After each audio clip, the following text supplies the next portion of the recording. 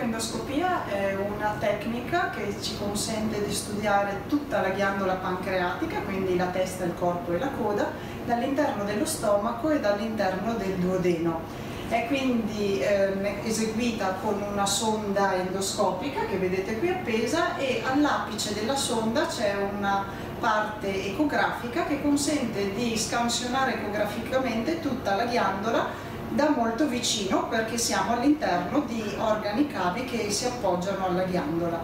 Permette quindi di fare delle diagnosi molto accurate di lesioni anche di piccole dimensioni, pochi millimetri, sia solide che cistiche.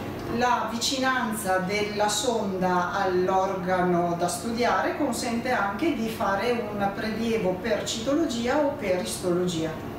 Esatto, in questa immagine vedete per esempio una, lesione di piccole dimensioni che appare comunque molto grande nello schermo proprio per l'alta risoluzione di, eh, immagini della metodica e questo è il lago eh, che serve appunto per prelevare delle cellule. Ehm, l'esame viene eseguito uh, con assistenza anestesiologica e infatti presso il nostro centro abbiamo proprio uh, spinto affinché, essendo un esame semi-invasivo, mini-invasivo, ehm, per, per, ottenere il maggior comfort per il paziente, che tutte le condoscopie vengano eseguite con l'assistenza anestesiologica.